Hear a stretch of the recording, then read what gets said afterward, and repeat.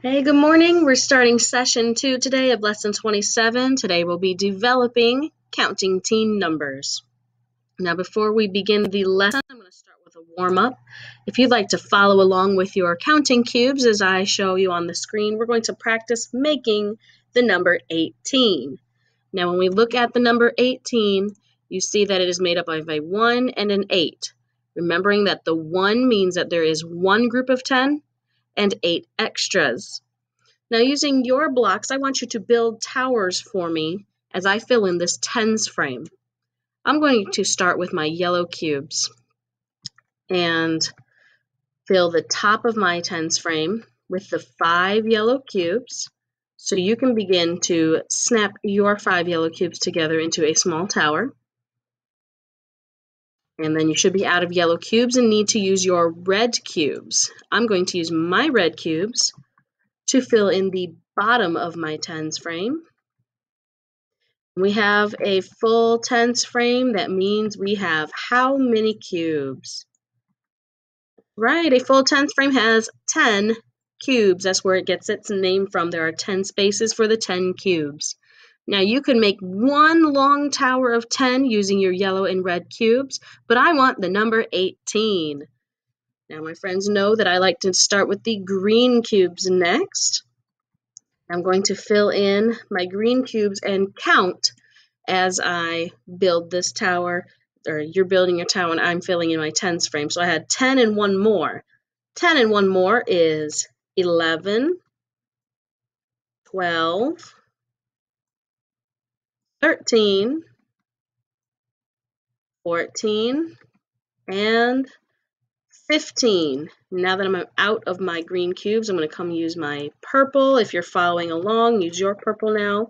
So we left off with 15. I can skip count by fives when I look at my tens frame to see 5, 10, 15. Now I'm going to continue counting till I get to the magic number 18. 15, 16, 17, 18. So when you have your group of 18 cubes using your snap cubes, you should have 5 yellow and 5 red put together to make a group of 10. Then you need 5 green and one, two, three purple to make 8 extras to show 18 cubes. All right. So today we're going to be looking at this picture in your book.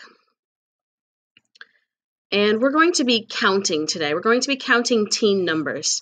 So look at these blue paint cans. I'm going to draw a line on them as we count to show that we have counted them. And we don't count them again, but we want to see how many of each item on this page there are, okay? So count with me as we count the blue paint jars. One, two, three, four, five, six, seven, eight, nine, ten. We have 10 blue paint jars. Let's count the pink paints. One, two, three, four, five. All right, we have five pink paint jars. Let's count the orange paints. One, two, three, four, five, six, seven, eight, nine. Nine paint jars are orange. And finally, let's count the green paints. One, two, three, four, five, six, seven. Excellent. So I can count these together. If I wanted to know how many blue and pink paints I had, I can see that I have a group of 10 and 5 extra paints. A group of 10 and 5 equals 15. Now, if I wanted to know how many blue and orange paints I have all together, I see that I have a group of 10 and 9 extras 10 and 9 is 19 paints all together if I want blue and orange. If I want blue paint and green paint, I have a group of 10 paint and a group of 7 extras. A group of 10 and 7 are 17 altogether. Okay? Let's count how many paints are in this watercolor tray. One, two, three, four, five, six, seven, eight, nine, ten, eleven, twelve, thirteen, fourteen, fifteen, sixteen, seventeen, eighteen. There are 18 watercolor paints in that tray. 18 is made of a group of 10 and 8 extra. Let's count how many paint splatters there are on this easel. One, two, three, four, five, six, seven, eight, nine, ten, eleven, twelve, thirteen, fourteen, 15, 16, 17, 18, 19, 20. There are a whole 20 paint splatters on the easel. On your paper, I want you to circle the number of paints or watercolor paints or paint splatters where there are exactly 18 paints showing. Go ahead and circle on your paper where you see 18 paints. Use my screen for help to see where the number 18 is and circle it.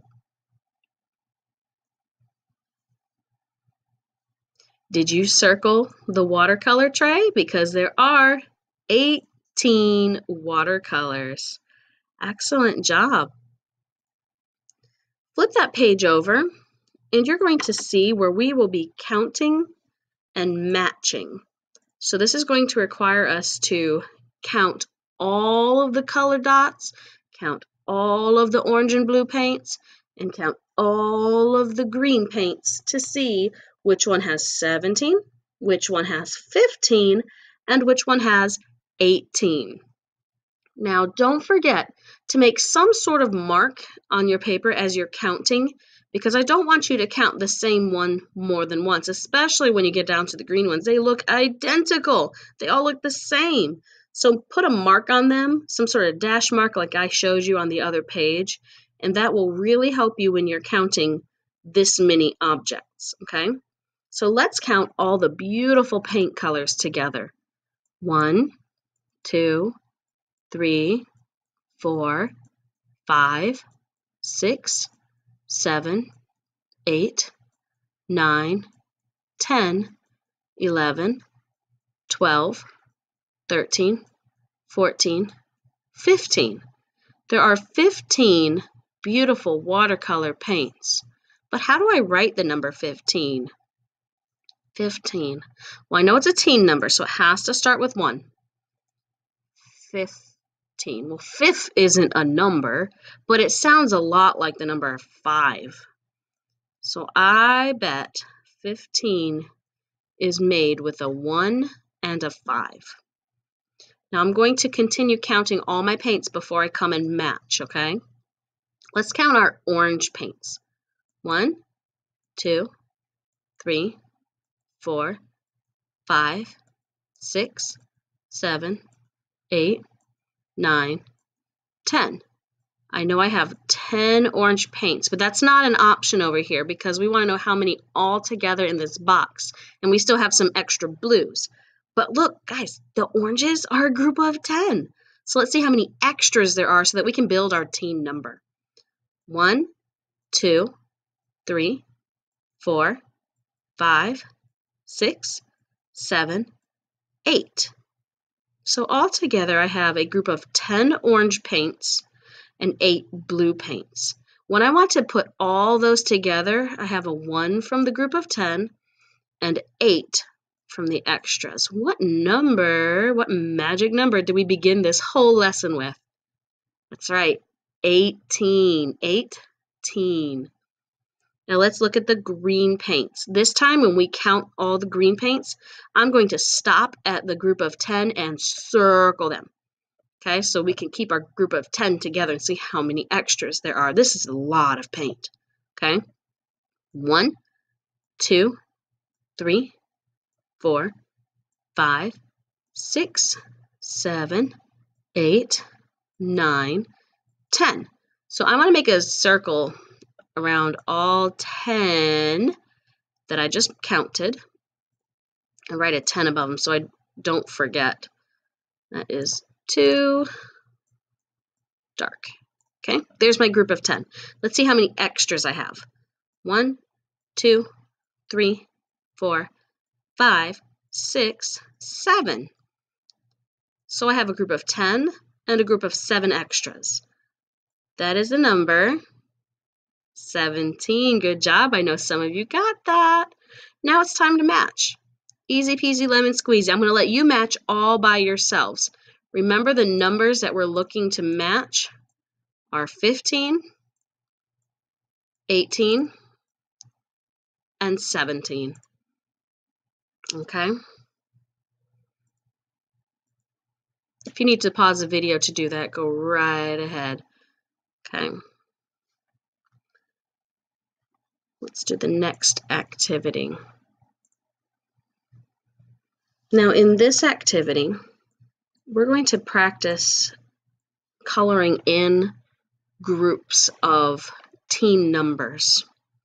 Okay, groups of teen numbers.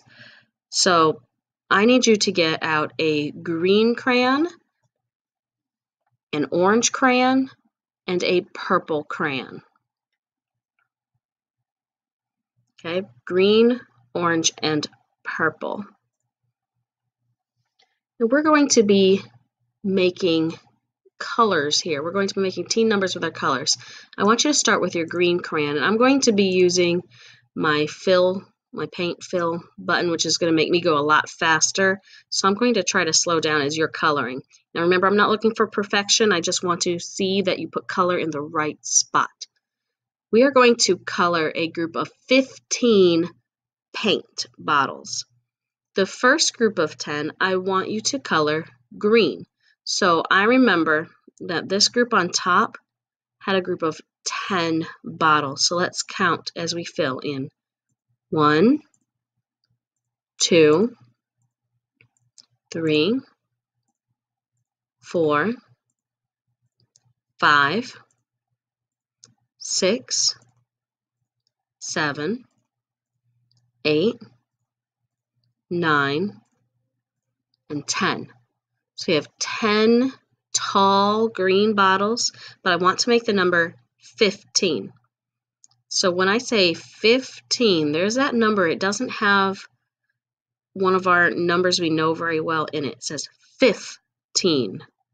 We know the teen means there is a group of 10, but fifth Fifth, remember, sounds a little bit like five. So I want to find where there are five paint bottles together in a group.